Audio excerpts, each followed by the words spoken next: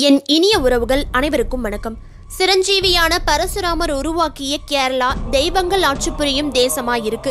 இந்த கேரளாவில் புகழ்பெற்ற பல ஸ்தலங்கள் இருந்தாலும் பில்லி சூனியம் ஏவல் போன்ற தீய சக்திகளிலிருந்து மனிதர்களை மீட்டெடுக்க முப்பெரும் தேவியர்களின் அம்சமா பகவதியம்மன் சோட்டானிக்கரையில் குடிகொண்டிருக்காங்க. பகவதியம்மன் உண்மையிலேயே யாரு? சரஸ்வதியா மகாலட்சுமியா இல்ல காளி தேவியா எப்படி இந்த இடத்துல மூன்று தேவிகளும் ஒன்னா அருள் புரியுறாங்கன்னு? மூன்று தேவியர்களும் சோட்டானிக்கரைக்கு வந்த வரலாற்றையும் சோட்டானிக்கரை பற்றிய மர்மமான தகவல்களையும் இந்த இடத்துல பகவதியம்மன் அருள் புரிய என்ன காரணம்? பேய் பிசாசுகள் இந்த கோவில்ல எப்படி விரட்டி அடிக்கப்படுது புத்தி சுவாதினம் இல்லாதவங்க கூட இந்த கோவிலுக்கு போய் குணமடைய என்ன காரணம்னு? சோட்டானிக்கரை பகவதி அம்மன் பற்றிய பல ஆச்சரியமூட்டும் வரலாற்று தகவல்களை இந்த வீடியோல பார்க்க போறோம். வீடியோவை ஸ்கிப் பண்ணாம கடைசி வரைக்கும் பாருங்க. நீங்க முதல் முறையா நம்ம சேனல் வீடியோவை பாக்குறீங்க அப்படின்னா உடனே சப்ஸ்கிரைப் பண்ணிக்கோங்க. வாங்க இப்ப வீடியோக்குள்ள போலாம். முப்பத்து முக்கோடி தேவர்களுக்கும் மும்மூர்த்திகளுக்கும் ஆதிசக்தி முப்பெரும் தேவியர்கள் உருவத்தில் காட்சி கொடுத்த ஒரே இடம் இந்த சோட்டானிக்கரை. கோவில் ஸ்தல வரலாற்றில் சோட்டானி கரையோட பழைய பெயர் ஜோதி என்ன கரைன்னு குறிப்பிடப்பட்டிருக்கு. அடர்ந்த வனத்தில் ஜோதி வடிவில் தன்னுடைய பக்தையான ஒரு வேடுவ பெண்ணுக்கு காளி தேவி காட்சி கொடுத்திருக்காங்க. அதனால ஜோதி என்ன கரைன்னு அழைக்கப்பட்டிருக்கு. இந்த கோவில்ல இருக்கிறது ஒரு பகவதி அம்மன் மட்டும் இல்ல மொத்தம் இரண்டு பகவதி அம்மன்கள் இந்த கோவில்ல இருக்காங்க. கீழ்காவு பகவதியம்மன் மேல்காவு பகவதியம்மன் கீழ்காவு பகவதியம்மன் தான் பில்லி சூனியம் ஏவல் பேய்களை விரட்டக்கூடியவங்க. ஒரு காலத்தில் உயிர் பலி மட்டுமே கொடுத்து கீழ்காவு பத்ரகாளிக்கு பூஜை நடத்தப்பட்ட இந்த கோவில்ல. இப்போ உயிர் பலி தடை செய்யப்பட்டு செந்நிற குங்குமத்தாலான குருதி பூஜை மட்டும் நடந்துட்டு இருக்கு அந்த குருதி பூஜையில் பங்கு பெறும் பேய் பிசாசுகள் பம்பை செண்டை மேளம் முழங்கி குருதி பூஜை ஆரம்பிச்சு முடியிற வரைக்கும் எழுந்து ஆடிட்டே இருப்பாங்க. அவங்களோட ஆட்டத்தையும் பேசுற பாஷையையும் கேட்டா பேயெல்லாம் பொய்ன்னு சொல்றவங்க கூட அங்க நடக்கிற விஷயத்த பார்த்தா பேய் இருக்குன்னு உறுதியா சொல்லுவாங்க கீழ்காவில் குருதி பூஜை நடக்கும்போது பேய் பிடிச்சவங்க தலையை விரிச்சு போட்டுக்கிட்டு அம்மன் முன்னாடி ஆடுவாங்க. அப்படி உக்கிரமா ஆடும்போதே தங்களுடைய சுய உருவத்துக்கு வந்து தான் யாருங்கிற விஷயத்த சொல்லி தனக்கு என்ன வேணும்? எதனால இந்த பூத உடலுக்கு வந்தேன்னும்? கீழ்காவு பகவதி அம்மன் கிட்ட நேரடியா பேசுவாங்களாம்.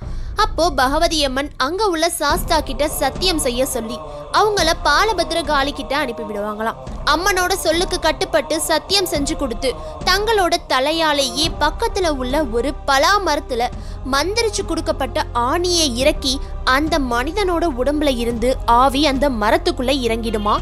குருதி பூஜை நடத்தின அந்த குருதியை தான் பேய் பிடிச்சவங்களுக்கும் பக்தர்களுக்கும் பிரசாதமா கொடுக்குறாங்க. அடுத்து மேல்காவு பகவதி அம்மன் ஒவ்வொரு நாளும் மூன்று கால பூஜையில் முப்பெரும் தேவியர்களா காட்சி கொடுக்கறாங்க. பிரம்ம முகூர்த்த நேரத்தில் வெண்பட்டு அணிந்து சரஸ்வதியாகவும் உச்சிக்கால பூஜையில் சிவப்பு நிற ஆடை அணிந்து துர்க்கையாகவும் மாலை நேரத்தில் லக்ஷ்மி தேவியாகவும் இரவு நேரத்தில் நீல நிற ஆடை அணிந்து காளி தேவியாகவும் காட்சி கொடுக்கறாங்க. பகவதி அம்மனோட வலது பக்கத்தில் மகாவிஷ்ணு இருக்கதால திருமால் நாமத்தை சேர்த்து அம்மே நாராயணா தேவி நாராயணான்னு பக்தர்கள் வழிபட்டு வராங்க.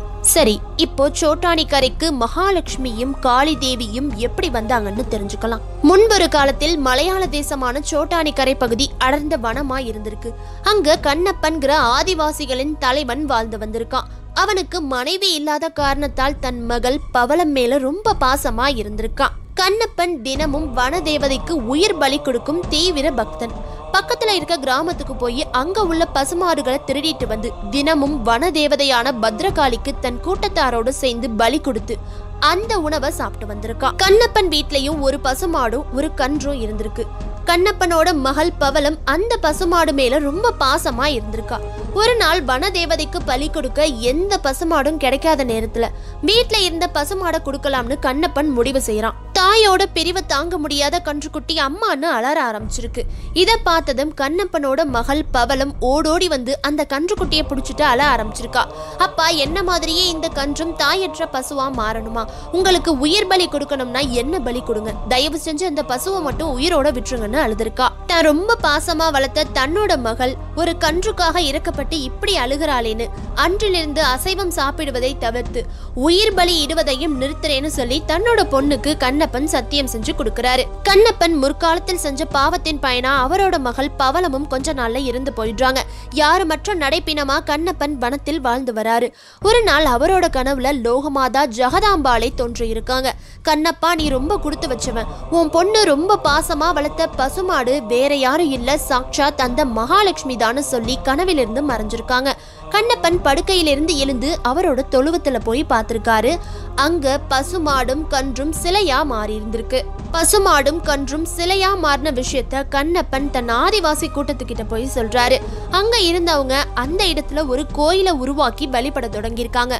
காலப்போக்குல அந்த பகுதியை விட்டு ஆதிவாசி மக்கள் வேற இடத்துக்கு மாறிடுறாங்க. கண்ணப்பனும் ஒரு நாள்ல இருந்து போயிடுறாரு. அதுக்கப்புறம் பல நூற்றாண்டுகள் கடந்த பிறகு ஒரு பெண் வழக்கம் போல அந்த இடத்துக்கு புல்லறுக்க வந்திருக்கா. அப்போ தன்னோட கத்திய அங்க இருந்த பாறை மேல கூர்மையாக்கும் போது அந்த கல்ல இருந்து நெருப்பு பொறியோட ரத்தமும் வந்திருக்கு. இந்த தகவலை ஊர் தலைவரான நம்பூதிரி கிட்ட சொல்றாங்க. அந்த நம்பூதிரி அந்த இடத்துக்கு வந்து பிரசன்னம் பார்த்துட்டு ஆதிவாசியான கண்ணப்பன் வனதேவதையான காளிக்கு உயிர் பலி கொடுத்ததும் பசுமாடா வந்து சிலையா மாறினது லக்ஷ்மி தேவிதான்னு உணர்ந்து. இரண்டு தேவியர்களும் வாசம் செய்யற இந்த சிலைக்கு உடனே அபிஷேகமும் நெய்வேத்தியமும் செஞ்சிருக்காரு. அடுத்து சரஸ்வதி தேவி எப்படி சோட்டானிக்கருக்கு வந்தாங்கன்னு பார்க்கலாம். சில வருஷத்துக்கு அப்புறம் சாதாரண கோயிலா இருந்ததை பார்த்த ஆதிசங்கரர் இந்த இடத்துக்கு வந்து இந்த கோவிலை சரி பண்ணி பூஜை புனஸ்காரங்கள்லாம் செஞ்சு அம்மனோட சக்தியை அதிகப்படுத்தியிருக்காரு. கோயிலுக்கு எய்தாப்புல இருந்த குளத்தில் பாலபத்ர காளி விக்கிரகம் ஒன்று கிடைச்சிருக்கு.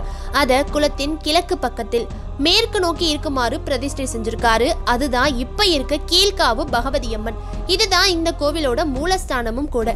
இந்த இடத்துல தான் முதலில் சோட்டானிக்கரை பகவதி அம்மன் இருந்திருக்கு. அதுக்கப்புறம் தான் இப்ப இருக்க மேல்காவிற்கு மாற்றப்பட்டிருக்கு. இந்த கோவிலின் கருவறையில் மூன்றடி உயரத்தில் பிண்டிங்கிற ஒரு கற்பாறை இருக்கு. இந்த கற்பாறை வடிவத்தில் தான் பகவதி அம்மன் முதல் முதலில் சுயம்புவா எழுந்தருளியிருக்காங்க. இதனால பகவதி அம்மனோட சக்தியை மேலும் கூட்ட ஆதிசங்கரர் நினைச்சிருக்காரு. பகவதி அம்மனோட சக்தியை அதிகரிக்க நினைச்ச ஆதிசங்கரர் மைசூர்ல இருந்த சாமுண்டீஸ்வரியை கேரளத்துக்கு கொண்டு வர நினைச்சிருக்காரு. அதுக்காக கடுமையான தவமும் இருக்காரு.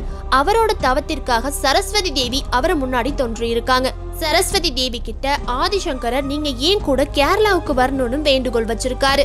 அதுக்கு சரஸ்வதி தேவியும் மகனே நீ நடந்து போ. உன் பின்னாடியே நானும் நடந்து வந்துட்டு இருக்கேன் ஆனா நீ ஒருபோதும் திரும்பி பார்த்துடாத. ஏன் சொல்ல மீறி நீ திரும்பி பார்த்தேன்னா நான் அந்த இடத்துலயே தங்கிடுவேன்னு ஒரு நிபந்தனையும் போடுறாங்க. ஆதிசங்கரர் கேரள தேசத்தை நோக்கி நடக்க ஆரம்பிக்கிறாரு. தேவியும் அவங்களோட சிலம்புகளும் கொலுசு சுத்தமும் கணீர்னு ஒலிக்க ஆதிசங்கரர் பின்னாடியே நடந்து போயிட்டு இருக்காங்க ஆதிசங்கரர் பல நாள் பல இரவு பாராமல் நடக்கிறாரு. ஒரு நாள் காலையில பின்னாடி வந்த தேவியோட சிலம்பொலி கேட்காம இருந்திருக்கு. ஆதிசங்கரர் தேவியோட பேச்சை நினைச்சு பார்த்துட்டு தொடர்ந்து நடக்கலாம்னு முடிவெடுக்கிறாரு. அன்னையோட சிலம்பொலி சத்தம் கேட்காததால பயத்தோடைய ஆதிசங்கரர் பின்னாடி திரும்பி பார்க்கறாரு. ஆதிசங்கரர் திரும்பி பார்த்ததும் அம்பிகை அந்த இடத்துலயே நின்னுட்டாங்க. அந்த இடம் தான் இப்ப இருக்க கொல்லூர் மூகாம்பிகை கோவில். ஆதிசங்கரர் திடுக்கிட்டு போய் நிக்கிறாரு. அப்போ அம்பிகை சங்கரா நம்ம போட்ட நிபந்தனையை நீ மறந்துட்டியான்னு கேக்குறாங்க. அன்னையே உங்களோட கொலுசலி சத்தம் கேட்டதால தான் நான் முன்னாடி நடந்து போயிட்டு இருந்தேன் உங்கள் கொலுசு சத்தம் கேட்காததால் ஒருவேளை தாங்கள் பின்னோக்கி சென்று விட்டீர்களோ என்றுதான் நான் பின்புறமாக திரும்பி பார்த்தேன். என்னை மன்னித்து விடுங்கள்னு மன்றாடி ஆதிசங்கரர் அம்பிகை கிட்ட வேண்டியிருக்காரு. மகனே நம்ம போட்ட நிபந்தனைப்படி வார்த்தை தவறுவது முறையில்லை. இதுவும் கேரள பூமிதான். நான் இங்கே தான் இருப்பேன். நீ வேண்டியே உன்னோட நாட்டிற்கு நான் வந்திருக்கேன். கன்னியாகுமரியிலிருந்து கோகர்ணம் வரைக்கும் கேரள தேசம் மட்டும் தான் அம்பிகை சொல்லியிருக்காங்க. தேவியோட திருமொழி சங்கராச்சாரியாருக்கு திருப்தி அளிக்கல. அம்மையே நான் உங்களை ஆலப்புழைக்கு பக்கத்துல உள்ள வேந்த நாட்டில் எழுந்தருல தான் அழைச்சிட்டு வந்தேன். என்னோட தவத்தை நீங்க வீணாக்கிடக்கூடாது. கண்டிப்பா என் கூட நீங்க கட்டாயம் வந்தே ஆகணும்னு சங்கராச்சாரியார் அம்பிகை கிட்ட வாக்குவாதம் செய்றாரு. சங்கரா உன்னுடைய கட்டாய வேண்டுதலினால் தினமும் காலை மூன்று மணி முதல் ஏழரை மணி முதல் சோற்றாணிக்கரையில் நான் தரிசனம் தருகிறேன். எல்லா நாட்களும் பிரம்ம முகூர்த்தத்தில் நான் சோற்றாணிக்கரை ஆலயத்தில் இருப்பேன்னு ஆணையிட்டு சொல்லியிருக்காங்க. சங்கராச்சாரியார் அம்பிகை சொன்ன பேச்சு கேட்டு சோட்டானிக்கரைக்கு வந்து பார்த்திருக்காரு. அங்க சோட்டானிக்கரையில் அம்மன் பிரம்ம முகூர்த்த நேரத்தில் ஜோதி ரூபத்தில் எழுந்தருளி இருக்காங்க ஆதிசங்கரின் வேண்டுகோளை ஏற்று மைசூரில் இருந்து வந்த சாமுண்டீஸ்வரி சரஸ்வதியாகவும் பசுவின் உருவத்தில் வந்த மகாலட்சுமியும் கண்ணப்பன் உயிர்பலி கொடுத்த வனபத்ரகாளியும் ஒரே இடத்தில். சோற்றாணிக்கரையில் அருள் புரிந்ததால தன்னை தேடி வரும் பக்தர்களோட குறை எதுவா இருந்தாலும் குழந்தை வரம் திருமண தடை பில்லி சூனியம் ஏவல் பேய் பிசாசு தொல்லை மனநோய்கள்னு இப்படி எல்லா பிரச்சனைகளையும் திரிசக்தியா இருக்க பகவதி அம்மன் சோற்றாணிக்கரையில் அருள் புரிஞ்சு சரி செஞ்சுட்டு வராங்க. சபரிமலை கோயிலுக்கு போன ஐயப்ப பக்தர்கள் கண்டிப்பா சோற்றாணிக்கரைக்கு போகாம வந்திருக்க மாட்டாங்க. இந்த வீடியோல சோட்டானிக்கரை பகவதி அம்மனோட முழு வரலாற்றையும் தெரிஞ்சுக்கிட்டோம். வீடியோ பிடிச்சிருந்தா லைக் பண்ணிட்டு மறக்காம உங்க நண்பர்கள் கூடவும் இந்த வீடியோவை ஷேர் பண்ணுங்க. வீடியோ பற்றிய உங்க கருத்துக்களையும் நீங்க கேரளால எந்தெந்த இடத்துக்கெல்லாம் போயிருக்கீங்கன்னு கமெண்ட்ல சொல்லுங்க. நம்ம சேனலை சப்ஸ்கிரைப் பண்ணி ஆல் செட் பண்ணிக்கோங்க. அப்பதான் அடுத்து நம்ம சேனல்ல அப்லோட் பண்ற எல்லா வீடியோஸ்க்கும் உங்களுக்கு இமீடியட்டா நோட்டிபிகேஷன் கிடைக்கும். அடுத்து வேறொரு இன்ட்ரெஸ்டிங்கான வீடியோவோடு உங்களை சந்திக்கிறேன். நன்றி வணக்கம்.